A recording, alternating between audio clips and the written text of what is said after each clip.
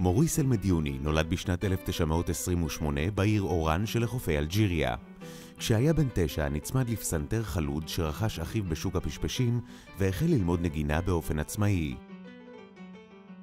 בשנת 1942, עם כיבוש אלג'יריה על ידי בעלות הברית, החל אלמדיוני לנגן בבר מקומי שאירח חיילים, תערובת של שירי ג'אז, שירים לטיניים ושירים צבאיים.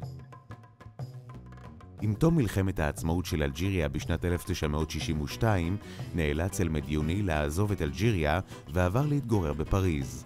לימים תיאר את התקופה כקשה בחייו, אולם דבר לא עצר אותו מלהמשיך ולעסוק במוסיקה. אלמדיוני, שאת מרבית שנותיו עשה במוסיקה האנדלוסית, כמלווה של רנט לאורנז' האגדית, סמי אל-מגריבי, לילי בוניש ולין מונטי, פעל וניגן כשלצידו נגנים יהודים וערבים, ותמיד תוך אחווה, מאור פנים ושמחת חיים.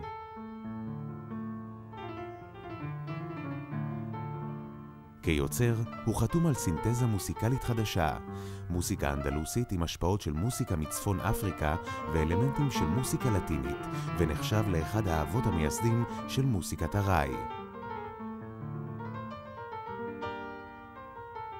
הרקע היהודי הביא אותו להתגורר בישראל ולשיתוף פעולה עם התזמורת האנדלוסית הישראלית אשדוד. אלמדיוני מופיע ברחבי הארץ עם מוסיקאים צעירים רבים, הרואים בו מקור להשראה.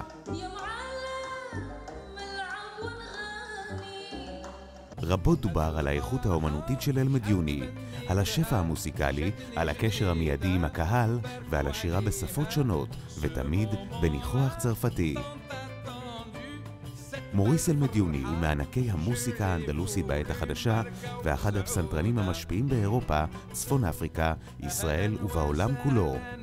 הצלילים האנדלוסיים הבוקעים מן הפסנתר שלו הפכו זה עשרות שנים לתו היכר המייחד את סגנונו, ועל כך זכה בפרס מוסיקת העולם של ה-BBC.